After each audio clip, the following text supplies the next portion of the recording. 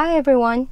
Today I'm gonna show you how to download and install Brother iPrint and Scan app and print using your PC or laptop.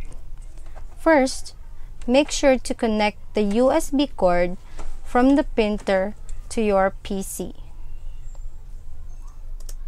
Then, go to your browser and search Brother iPrint and Scan app.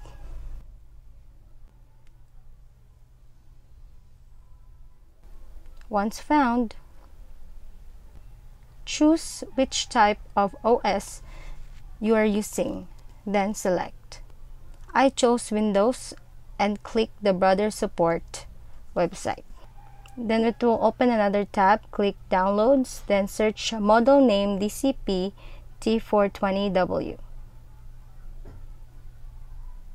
Click on the device model, select your OS family, Click OK. Install the full driver and software package. Click Agree to the End User License Agreement. It will automatically download the full driver and software package, then save it.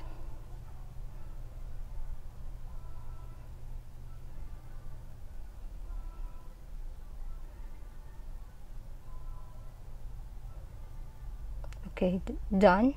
Look for the file, then extract or decompress the file.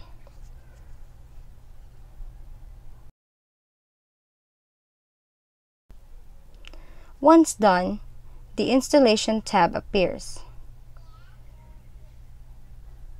Choose your language. Click Next. Check box if you agree to the license agreement then click next. In this video, we are going to connect our PC to the printer via local connection or USB. Click next. Now in the first part of our video, we have already connected our USB. Now click standard, then next. So the software installation may take a while. So just wait for it to finish.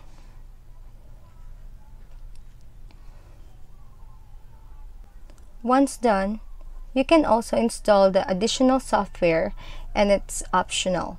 Just click next if you chose not to and follow through the installation process.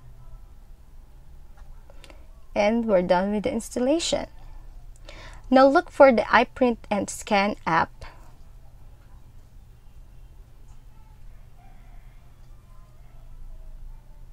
And click I agree. Then OK. Select your machine. Click OK.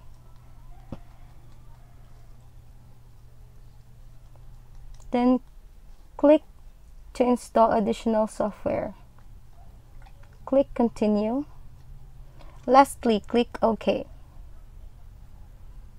Then the machine scan settings appears. Click Setup then click setup again. And we're done with the installation. You can finally print the file you want. As you can see our printer brother DCP T420W is now ready. Or you can simply print your fi files directly from your office apps or simply go to the brother iPrint and scan app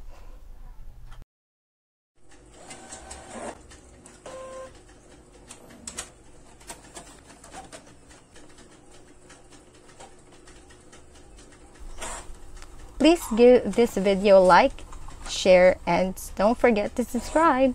Thanks for watching. Bye.